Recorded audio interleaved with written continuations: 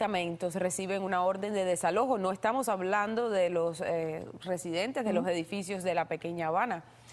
Resulta que estas familias enteras ahora se deben mudar ya que los dueños decidieron vender la propiedad y les han dado hasta el fin de mes para abandonar el inmueble. Olance Nogueras amplía. Mercedes Betancourt es una mujer deshabilitada por trastornos bipolares y depresión y madre de un niño de 11 años con limitaciones visuales. Buscando renta sin tener dinero para que el niño no se me enferme. Porque cuando viene a la escuela me dice, mamá, ¿encontraste? No, eh, sí, encontré, sí, encontré, no he encontrado nada porque no tengo dinero, no tengo, no tengo de qué vivir, no tengo, no tengo. Betancourt y su hijo forman parte de las 240 familias del estratégico complejo de condominios Biscayne Shores, que deberán desalojar sus viviendas a más tardar el próximo 30 de abril, después de recibir una notificación en sus puertas o por correo, donde los nuevos dueños anuncian que han comprado la propiedad y que los edificios serán demolidos.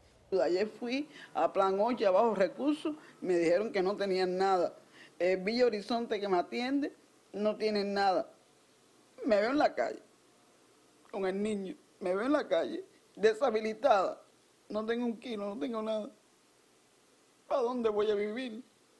Estoy pensando ir a, buscar ayuda a Camilo Javo o a otro sitio que me dieron unos teléfonos ahí, al departamento legal, para ver qué puedo hacer. En medio de la angustia y la desesperación, inquilinos de Biscayne Shores, la mayoría hispanos y de bajos recursos, buscaban alternativas para mantener a sus familias bajo un techo. Para rentar están cobrando un mes de depósito, un mes de renta y un mes de security. Y no, y no tenemos el dinero para pagar todo eso. Que nos den por lo menos dos meses para uno recolectar el dinero y poder pagar en otro sitio.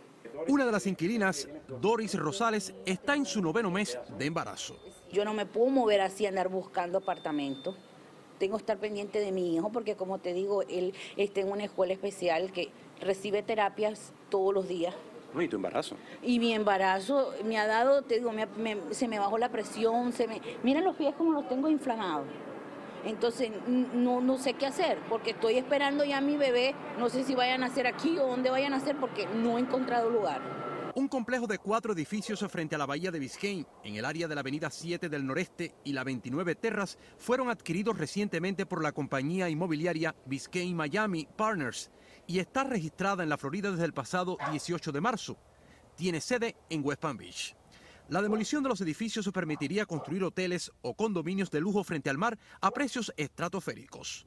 Los antiguos propietarios bajo la firma 15 en Core Platinum no estaban disponibles. Se desconoce el monto de la operación, aunque la mayoría de los edificios estaban valorados en más de 2 millones de dólares. Todos los apartamentos eran rentados.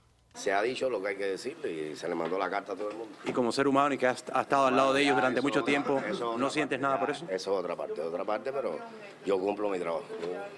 Algunos inquilinos aquí están buscando organizarse para hallar ayuda legal y llevar el caso ante las cortes basado en el poco tiempo que les han dado a embarazadas, ancianos y personas bajo condiciones médicas severas. Olance Nogueras, América Noticias. Muchas gracias, Olance. El